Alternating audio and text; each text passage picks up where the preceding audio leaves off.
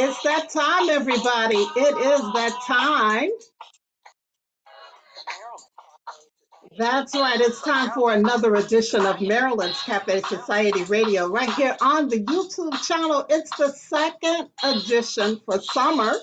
You know, I try to bring you at least two to three shows during the summer season. And so this is show number two for our summer. Of course, today is Tuesday, August 23rd, 2022. And how has your summer been? Listen, I guess you could say summer is officially over now, right? Vacations are over, staycations are over, the children are back to school. My goodness, where has the time gone? It's over. well, listen, I just wanted to pop in today because I met this beautiful person that I just had to introduce the audience to and give her some some some some spotlight time on the show. She's doing some wonderful things and um, let's go ahead and, and get the talk started. Ladies and gentlemen, help me welcome Miss Sandra Bivens to the show. Hey, Sandra. How are you, Marilyn? Thank you for having me on today. Oh, I am well. I am well. I'm still just um, sort of disbelief on how fast the summer has gotten away from us. Yes, it's over already. It just mm-hmm. seemed like it started. And before I know it, I'm going in the wintertime. yes, indeed. Yes, indeed. And so, ladies and gentlemen, Sandra is executive director of the 51st Street Business Association. But let me just tell you a little bit more about her. She has earned a Master's of Science degree in Community Economic Development from the New Hampshire College School of Business Administration, and of course, her bachelor's degree in communications from Roosevelt University. She put her education and training to work by providing training and consulting services to community organizations, resident groups, cooperative boards, and government agencies.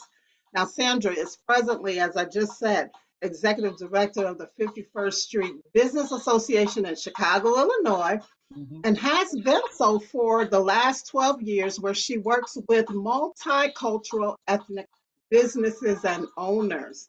So again, Sandra, welcome, welcome to Thank the show. You. Thank you. Now, with all of that going on with you, um, and you know, today being Inner Nerd Day, find your inner nerd. Sandra, considering the current definition of nerd. We're not going to talk about what the past definition of nerd was because it had a negative connotation. Yes, know? it did. Yes. We're socially awkward, clumsy, unattractive, all of that if you were called a nerd. Yeah, yeah. But of course, now nerd means the studious person, the intellectual person, the person who's technically inclined, who seeks information. So, do you consider yourself a nerd? Well, I guess with that definition, I would be because I like to be informed. I like mm-hmm. to uh, uh, find out resources and what's going on in the world and in the neighborhood and in the community. So if that makes me a nerd, I think I'm kind of nerdy. yeah, because you did some community, well, you do community activism. Activism, yeah. I should say. You're an organizer, a business developer, and you've been doing this for the past 25 years in the great yeah of Chicago. So, and, and then of course with your accomplishments in academia, my goodness, I, I would say yes, you are a nerd. Yeah, I, am a nerd. I've been a, a closet nerd for closet nerd. That's a good one. I like that closet nerd. well, listen, I'm a fellow Laker, so I think we should pause for a minute just to uh, to send some prayers up to the family, friends, and of course all who Theodore Gross who was the uh, president emeritus at Roosevelt University. You know, he passed. Yeah. Yeah, yeah. So um, I believe he was there when I went through Roosevelt. So um, he signed my my degree. Did he? Okay. Mm-hmm. Yeah. So listen, um, it's also Black Business Month. Yes. And uh, Sandra, you've uh, found a wonderful way to support businesses as as well as work to uh, change a distressed community and turn it into a viable neighborhood. Yeah, yeah. Uh, tell us a little bit more about the 51st Street Association and and of course, uh, what inspired you to start it? Well, you know, to me, every month is Black Business Month. That's how I look at it, you know, because we are trying, the 51st Street Business Association specifically uh, began with, believe it or not, Richard Steele's wife, Jera, you know, she had a secondhand store here on 51st Street uh, 10 years ago. And folks was breaking into her stores and breaking into other businesses mm-hmm. all down 51st Street, you know, and and it was it was just we just had to do something about it. So I came over here as a consultant firm uh, to do some because I had a contract with the Chicago Housing Authority to to uh, perform their uh, uh citywide elections, you know. And there was fifty thousand public housing residents before they tore everything else down, you know. But anyways, because of the break-ins, we talked to the alderman. We met with the alderman, Alderman Pat Dowell, and Pat said, "You all need to get together." form some kind of entity so you can show some power so that when you uh, when you go to the police uh, commander or anybody to assist you with the issues over here that you have some support behind you and that's just what we did and that's how the that's how the 51st street business association was formed and became the entity that we utilize in order to make change in the community. And because of my background in organizing and business development for some reason i can't even tell you how i ended up running the 51st street business association you know. But i guess also because a lot of the businesses didn't know how to organize you know. So which means somebody that had some knowledge and pat knew that i had knowledge because even before she became alderman we had worked together on projects you know uh, when she was with the uh, city and when she was executive director over here for another organization and um, we began to pull people together and so because we have businesses of all ethnic groups we got asians we got whites we got black you know, and many of these businesses have been here over 100 years or more. And so, whether they're Black or not, they're not going anywhere. So, which means my biggest uh, challenge was to bring them together, to begin them talking together, working together, so we can build something viable for this area, for the community as well as for the residents, you know? And so that's how we began forming that's how we began the 51st Street Business Association and uh, uh, starting to make change in this community because we had a lot of crime and drive-by shootings. Girl, I had to go out there and talk to the brothers. I used to tell them, I say, why are you all hanging around in groups when you know somebody's gonna come by and shoot at you? You need to get off these streets, you know. So I mean, we had to do a lot of work with the community as well as the businesses to begin to have people change their mindsets and understand that this can be a better community, it can be a better neighborhood if we all work together. Yeah. So so east to west, how far how far is your reach? well, basically, we start at 51st and King Drive, and we go all the way down to 51st and the Dan Ryan, where the uh, commander station is. Okay, got it, got it. Yeah.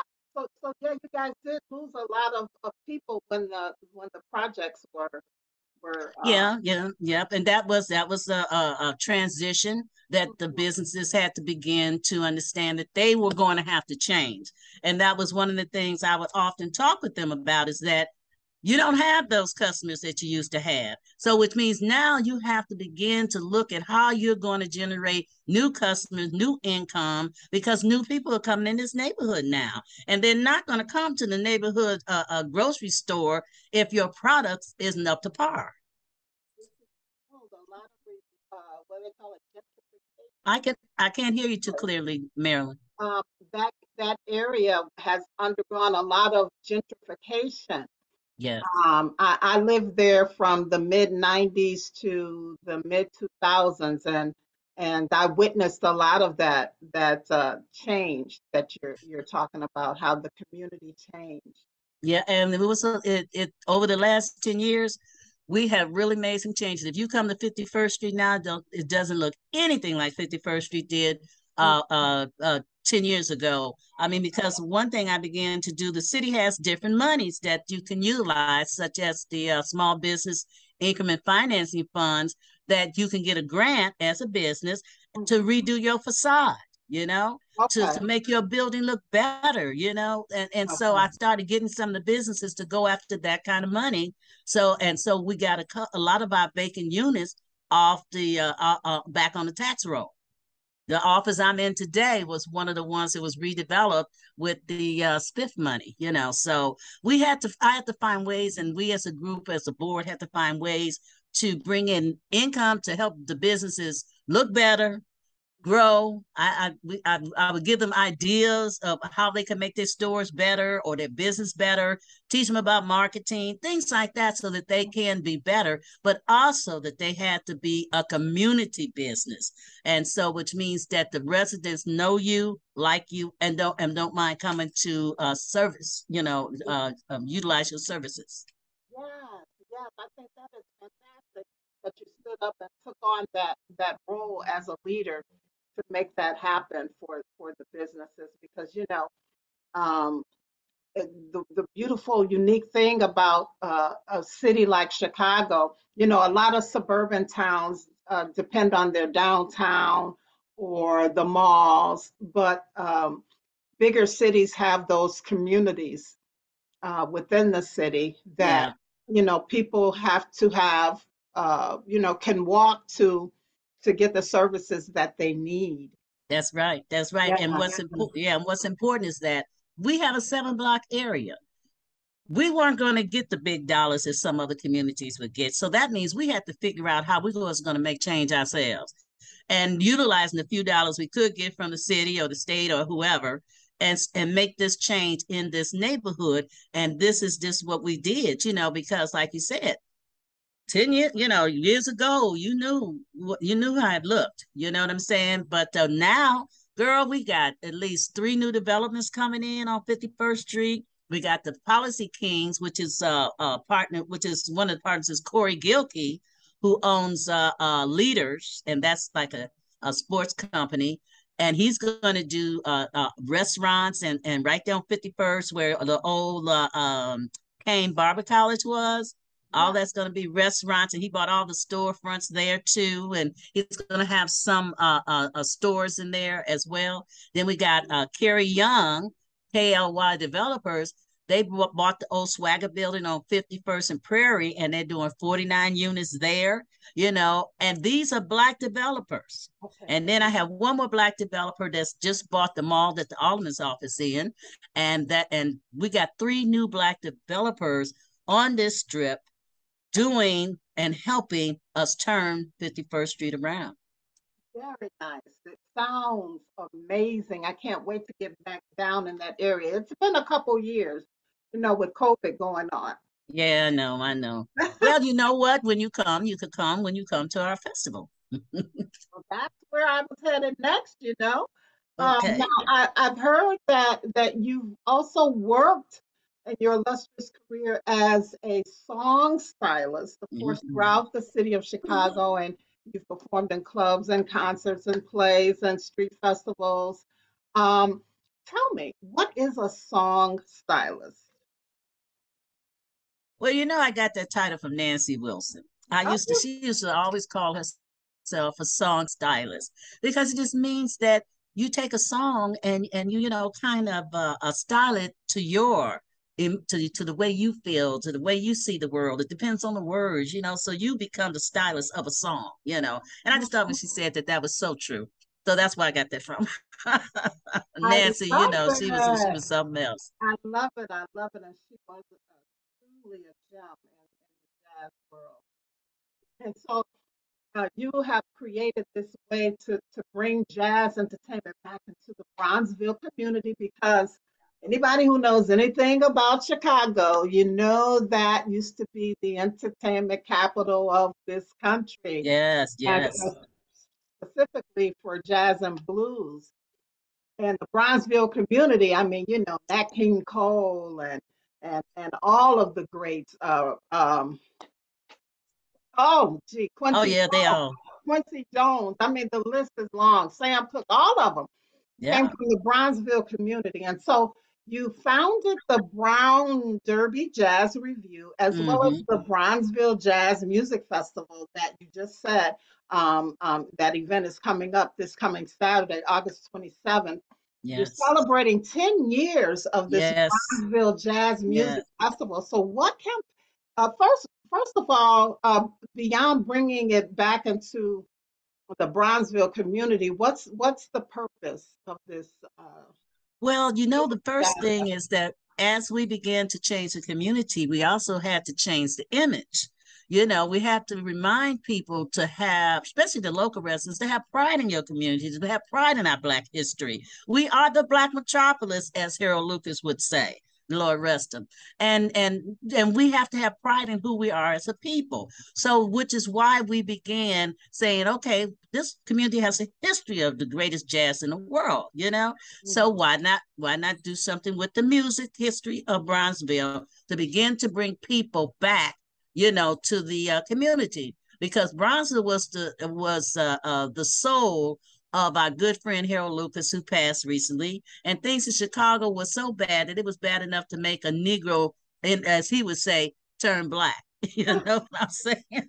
And so he wanted to bring the music back. And so he was one of the founders of the Brown Derby Jazz Revue. Him and Paula Robinson, you know, Paula Robinson does the, uh, has been getting the designation for Bronzeville to be the Black metropolis area. And between the three of us, we said, okay, this is a great idea to bring the music, uh, bring the history of Bronzeville back. Also, put great artists that live in this community back to work, and also to bring pride back to the residents in the community by understanding their history. And so we ended up uh, working with the Great Lakes Elks Lodge. If you remember, that's been here for about 100 years and is Black owned now for about 60 years. And they, and they, uh, uh, Mr. Jackson at the time, let us utilize his space for free. And we and we brought in Maggie Brown. We brought in uh, uh, Cinnabella, the Bronzeville Diva. We brought in Nanette Frank, Junie Vaughn. Oh, girl, we brought in so many of the local talent, and they came in initially doing it for free. Not we didn't charge us anything, just to help us get this project of pride and history yeah. off the ground. And from that, it grew into the Bronzeville. We decided, okay, we we we've been doing this for about eight years now. So, well, we was doing it maybe about let's say two years now, and we said now we could take it larger. You know, now we could take it to the next level. So that's when we started with the. uh it, First, it was the 51st Street Jazz and Music Festival, and our theme has always been stop, start the music, stop the violence, because we wanted to get the brothers understanding that hey, listen to the music. You don't need to kill each other. You know, we got to stop this violence against each other. And then over the years, it grew into the Bronzeville Jazz and Music Festival, and it has been evolving and evolving. And this is, like I said, this is our 10th year. And uh, Alderman Pat Dowell has been so supportive of our project, you know, uh, Representative Lamont Robinson, even before he became a representative, because he has his Allstate office right over here around the corner. So he's been working with us as well, as well as our sister girl, Senator Mattie Hunter, you know. So we got good political, social, and community support. And I and you know what? The first one we gave after the after the festival, we were walking down the street and, and residents were stopping us in the street saying they never seen anything like this. They had a wonderful time because we do this in the hood on a block, not in a park, not in a parking lot, but right here in the neighborhood where they can just walk in their own neighborhood and see some of the best talents like Robert Irving Jr. We even had the Philharmonic uh, Fellows out here from, from the Philharmonic Orchestra, uh, uh, you know, uh, organization. I mean, doing some great things, girl. That's all I could say. And and we got young groups too. Yeah, I was going to say it's a wonderful way to introduce the young kids in the neighborhood to jazz. You know, yes, you know, kind of expand their their mind and their horizon. Yeah, well, you know, we have young people like Jeremiah and Isaiah Collier and Isaiah yeah. Collier and Jeremiah started with us when they were young kids. And then end up Isaiah, I think last year was up for a Grammy, but he still came out and played in our little neighborhood. You know, him and his wonderful brother, who is just and Jeremiah is playing all over the city of Chicago, you know, the big clubs and everything. So as they grew up, they didn't forget about us. And so we do have the youth and we support them. And so you, you have your youth and elders working together. You know what I'm saying? It's wonderful. It's amazing. It's amazing. So tell us what to expect on Saturday the 27th. Well, on Saturday 27th, one thing we always do too, we have we open up at 10 o'clock with our kids' corner, and that's from 10 to 3. We'll have a petting zoo mag- mag- magician. We'll be also giving away free backpacks and, and school supplies. We had lots of games and things for the kids, you know, so that goes on until three o'clock. Now, our actual performances start at 12, and we open up with people like Junie Bond, uh, uh, Theophilus Reed, uh, Roger Weaver, Rudy Jackson, just a just a gambit of musicians and uh, vocalists that will be uh, that will perform from, and we call them the Brown Derby Jazz Revue uh, band because many because that's how many of them started as part of the Brown Derby Jazz Revue, and so they play from like two to twelve, and then we're coming back with uh, uh, Jeremiah Collier, Bernard Crump, and then girl, we have a, a um uh Darlene Galloway, Darlene Galloway, yeah, I think the Diane Galloway. I'm sorry, and the K uh KCR. Let me say this right and the KCR Jazz Band, Jazz Ensemble. It's an all women's jazz band. So they'll be playing. And then we end up with uh, Maggie Brown, Nanette Frank, and we end the show with uh, Thaddeus Toots. So it's a wonderful day, and you're going to have a ball. So you got to come out, girl. I didn't hear uh, the song stylist name on the roster. I'm sorry, say that again. I didn't hear the song stylist name on the roster. well, yeah, well, Cinnabella and I, because Cinnabella, my Cinnabella, myself, and Dana Divine, we're going to be the hostesses. So we're going to stick in a song or two throughout the day. Dana has been a guest on the show. Uh, oh boy, I was on the radio when she came on with her. We talked about her her gospel slide song, and she does it every year at the festival. Something else she was doing, um, but yeah, she's been um, on my show. It's it's going back a while, but well, yes, she's been supporting. She's still doing her thing. She's still doing her thing, girl. Her and she has been supporting us us practically since we started. Same that's way with right. Cinnabella the Bronzeville Diva. Yeah, you know, that's my girl too. Yeah. Yeah, you know. So uh, uh, and Nanette Frank, she's been with us since the beginning. Maggie has been with us since the beginning. You know, uh, it's just you know we have good people who believe in what we're doing to to to revive and, and revitalize our community. And they don't mind giving their time and their talent to make this happen because we know we can make it happen but we have to do it. Not somebody outside our community but those of us inside this community is what's going to make the change. Absolutely. And and then also just continuing the support of the jazz genre. I mean you know yes. we, we got to support the jazz music and keep it going my father Absolutely. introduced me to jazz as a child, and you know, as I grew older, of course, my music, and the R and B, kind of kept, uh, you know, took over my music preferences. But I still always had a heart for jazz, and still do. Yeah, well, remember, jazz is the base, you know, of many, a lot of the R and B music that we hear today, you know, and mm-hmm. so a lot of them, you look, listen to some of them chords going on in that R and B, it'll remind you of what's happening in the jazz uh, uh, uh, area. But one mm-hmm. thing I do want to say, we're also being this 10th, uh, 10th year, we're also going to be honoring and and uh, uh, uh celebrating Harold Lucas' uh, life because Harold was the mainspring of everything and most things over the last 25 or more 30 years that was going on in Bronzeville, you know, and um, he was he he really helped make change in this community and we have to continue to remember who he is. Yeah, I'm trying to remember if I met him. I, I know that I, I worked with um with Timuel Black when I was there. He, yeah. he had the Grand Boulevard organization going on or something. Um, and I think Mr. Lucas may have been in one of those meetings before. He might have because yeah, uh, yeah. he helped. He he uh, uh, had the uh, Bronzeville Visitor Center because uh, okay. we have always also figured that if we're going to make change, we have to be part of the tourist industry that's coming to Chicago. And why shouldn't they come to the South Side? You know, and that's what we and that's what Harold would push, and that's what we would push because I, I'll never forget. I I had a um I had a, a meeting one time one time with DCASE downtown Department of Cultural Affairs and uh, um and special events.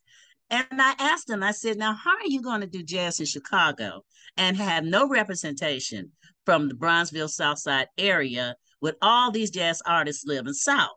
And so uh, our wonderful sister, uh, she's deputy commissioner now, uh, Jennifer uh, Washington. At the time, she was uh, uh, she was I can't remember her title at the time, but she said, you know, saying, you know, let let's do this, and they gave us a tent downtown, right at the right downtown in Grant Park, where they host the jazz festival, and we were able to get our artists to distribute to exhibit their tapes and and some are some people were writers, you know, whatever sculptures, painters, whatever they wanted to sell down there, we were able to do that with them. And and Harold Lucas was behind that, him, Paula, and myself. And um, it was it was a it was a a, win for for our community to even be able to be part of that uh, big jazz festival downtown. And now DCASE is giving them uh, different funding for us to keep the music alive throughout the city, specifically on the south side, uh, uh, so that we have jazz at the same time they're doing jazz downtown. They're funding people to do jazz in the neighborhoods during those same weeks. Yeah, that's all. Now that's amazing. Isn't isn't that awesome? That's amazing.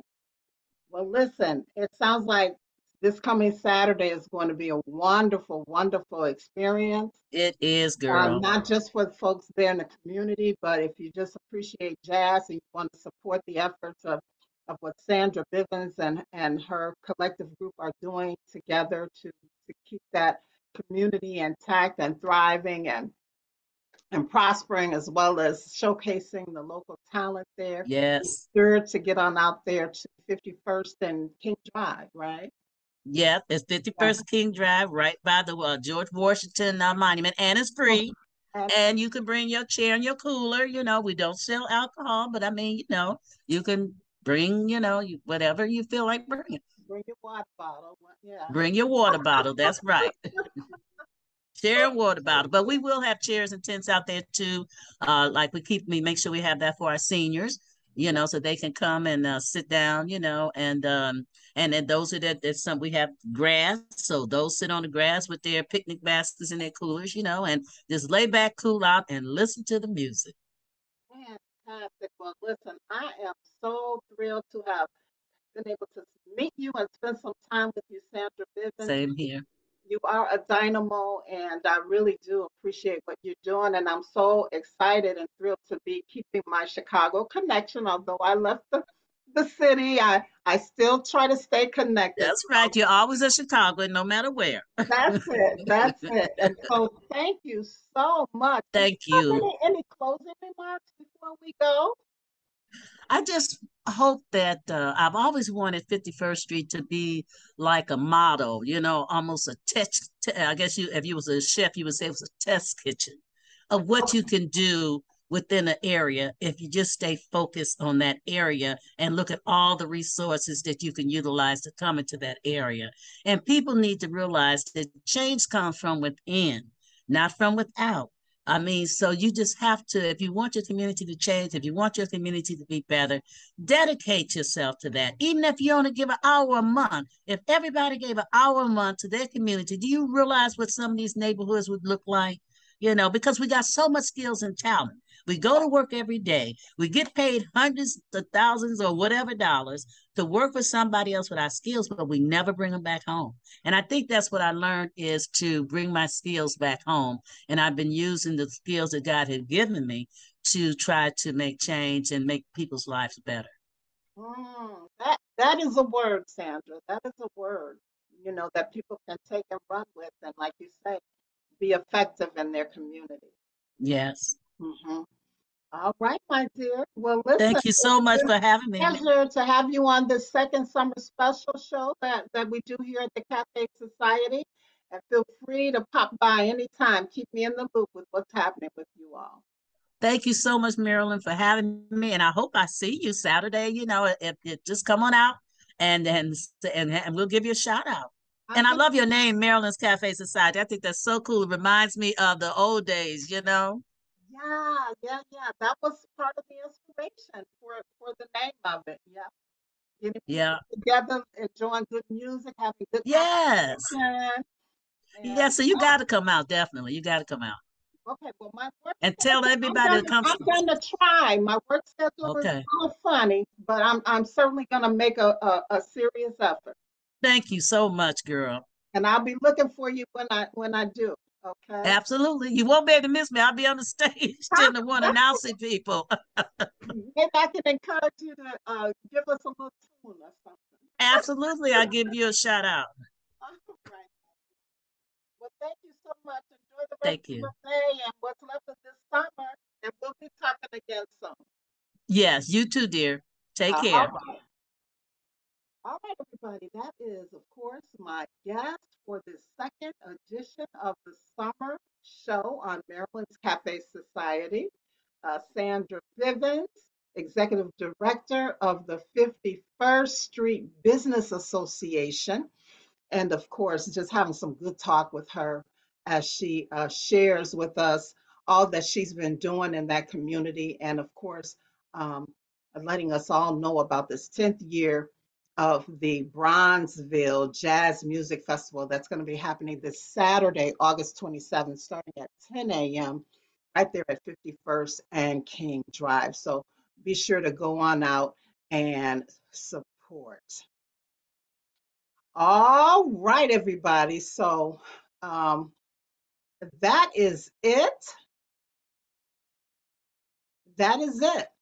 And so what we're going to do now is just wrap up the show with the very last word, um, or I should say, um, just reviewing the word for this last uh, summer session in the month of August. Remember, it's isochronous. Isochronous is the word, and it means occurring at the same time. I blogged about it last week on the blog, and uh, you can go check it out you get an opportunity to. And so this will be the last show until we start our new season of shows, which will be right after Labor Day in September, everybody, of this year. So I'm excited. We're going to get back on the grind, um, cranking out those shows on a weekly basis and uh, getting those blogs back going on a weekly basis. And of course, if you haven't joined the email club, be sure to sign up by sending your email to Marilyn's Cafe Society at yahoo.com.